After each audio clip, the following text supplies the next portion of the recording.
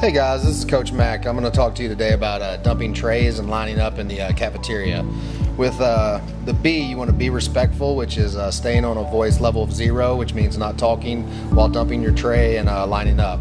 When an adult uh, speaks to you, you want to use yes sir or no sir, yes ma'am or no ma'am, or please, thank you, and you're welcome.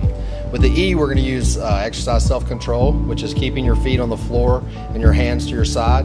When lining up, do not stop to interact with other students. With the S, we're going to show responsibility, which means standing up straight with your eyes forward, leaving personal space between you and the person in front of you, listening to your teacher's directions.